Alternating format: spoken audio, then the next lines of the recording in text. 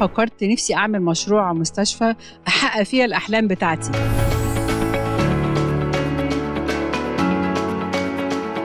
مستشفيات رفيدة صرح حقيقي. تعالوا نقابل مرة تانية الدكتورة أميمة إدريس عشان نفهم أسباب اختيارها لمنطقة الشيخ زايد لإنشاء المستشفى من سنة 2004 وكانت مجرد حلم وليه أنشأت عيادات خاصة فيها. والنهاردة المسؤول عنها كبار الأطباء. في مصر.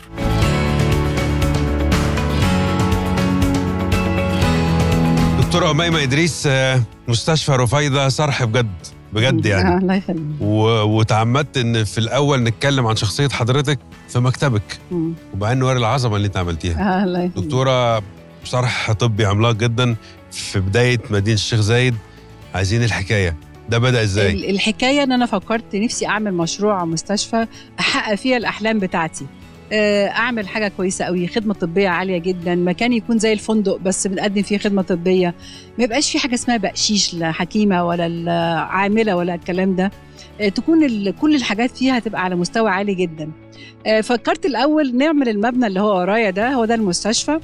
آه، بس للأسف رفيدة clinics. الرفيدا clinics ده آه. كان هو أساسي هو المستشفى. بس لأن حصل علينا ظروف كتيرة جدا. آه، الثورة في 2011 وال devaluation اللي حصل. فقررنا إن إحنا نعمل ده عيادات ونبيعها وبالفلوس بتاعته نبتدي نبني المستشفى اللي هي ورانا دي انت دلوقتي لوحدك تماما مفيش شريك مفيش لا. إحنا إحنا family business آه. إحنا أسرة يعني فإحنا كلنا مع بعض فكرنا واللي بيبني هو أخويا عنده شركة مقاولات ففكرنا ادريس إحنا- إدريس طبعا معروفة طبعا آه. آه فعملنا ال- المبنى الأولاني ده كان عملناه عيادات واتباعت وبعدين مبنى اللي هو دار العيون واتباع بردك وبعدين بقى هو الرفيدة ال maternity اللي هي بتاعه المستشفى النساء والولادة وال extension بتاعها اللي هو هيبقى فيه كل الخدمات المتبقيه زي الرعاية المركزة زي العظام آه، زي قسطرة قلب آه، هيبقى فيها طوارئ كبيرة جدا لكل الطوارئ لأن إحنا طبعا عندنا في رفايده عندنا طوارئ للأطفال والأمهات 24 ساعة ودي حاجة جميلة جدا بتخدم آه، منطقة الشيخ زايد إحنا طبعاً. عندنا العدد كبير جدا لأن تقريبا إحنا من المستشفيات القليلة اللي في زايد بتخدم الأطفال والأمهات 24 ساعة. حضرتك اخترتي أغلى متر في الشيخ زايد. أنت في مدخل الشيخ زايد. أيوه. طب ليه؟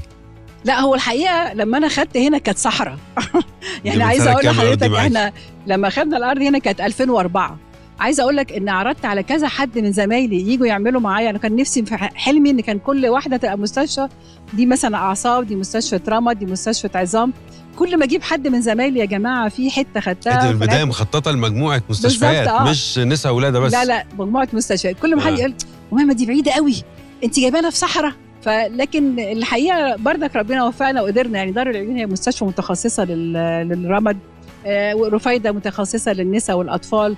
المستشفى الجديدة هتبقى فيها بقية التخصصات في مستشفى دار العظام بردك فاحنا الحقيقة بردك هنقدر نحقق الحلم بتاعنا اللي إحنا كنا عاملين أساس الم- الم- المشروع على أساسه يعني. طب التخصصات الموجودة النهارده اللي أنا شايف ناس ما شاء الله داخلة وخارجة. آه إحنا عندنا تخصص بردك عندنا وحدة أنف وأذن وحنجره حلوة تمام. جدا ومجهزة. دي حديثة عندنا جدا على حديثة. فكره وعندنا وحدة آه، علاج طبيعي.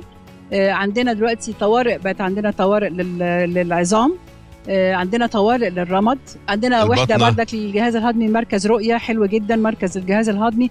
فالحقيقة بقينا مغطين معظم التخصصات. إحنا بيجي لنا ناس مخصوص عشان يولدوا عندنا. مثلا جات لنا عيانة من السودان كانت الله. حامل في أربعة. ففي السودان قالوا لها آه، مش هتكملي الأربعة ومش هينفع يبقوا الولاد كلهم كويسين. الست سمعت عن رفايدة آه، فجت رفايدة قعدت عندنا شهر ونص. والحمد لله خرجت باتنين أطفال صبيان واتنين الله أطفال أكبر. بنات. وبتيجي تزورنا كل شوية بالأولاد فطبعا الواحد بيبقى سعيد جدا يشوف حاجة زي كده. بيجي لنا ناس من نيجيريا. نيجيريا بردك بقينا معروفين عندهم فأي حالة بتبقى صعبة بتيجي تولد عندنا أو بتيجي تعمل عندنا عملية لأن إحنا عندنا بردك عمليات بالمناظير. عندنا دكتور محمد زايد دكتور أحمد المناوي آه، دكاترة شاطرة جدا في المناظير ال- الأمراض النساء وعندنا دكتور فهيم بسيوني مناظير الجراحة ودكتور محمد المصري. عندنا دكاترة شاطرة أنا جدا. شفت عيادة للدكتور حسام موافي هنا. آه، دكتور حسام موافي عنده عيادة بردك العلامة بتاع. مصر يعني. دكتور عاصم سيف دكتور بردك متخصص في السكر. فالحقيقة إحنا الحمد لله كمان بننتقي الدكاترة اللي بتشتغل معانا. التوسعات الجديدة النهاردة في مستشفى رفيدة حضرتك شايفة إن هي هتبقى إضافة للسياحة العلاجية إضافة للعلاج الطبي في مصر. هنضيف إيه؟ يعني عايز أفهم حضرتك. بالوضع اللي إحنا فيه كلنا بنفكر إزاي تقدر تجيب دولار. فهو الحل بتاعنا كمستشفى هو السياحة العلاجية. فإحنا ال future بتاعنا إن شاء الله هنعمل المستشفى ال extension. هيبقى فيها قسطره هيبقى فيها علاج طبيعي. آه، هنعمل center للتاهيل لأن التأهيل عندنا مفتقدينه قوي. يعني إحنا ما عندناش كتير آه، مراكز للتأهيل لل- بعد العمليات أو تأهيل حوادث. لحوادث أو تأهيل لإصابات رياضية أو إصابات آه، عامة. فإحنا نفسنا نعمل مركز تأهيل يكون محترم. والحقيقة اتكلمنا مع كذا حد في ألمانيا وهم مرحبين جدا إنهم يعملوا فرع ليهم هنا في مصر يكون تابع لأكبر سنتر تأهيل في ألمانيا. الراجل الألماني الدكتور الألماني جه هنا واتفرج على المكان.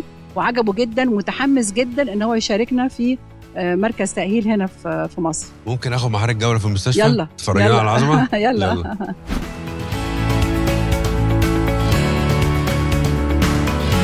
آه، ده المبنى اللي هو بتاع ال- اللي هو الانبيشنت أوض المرضى.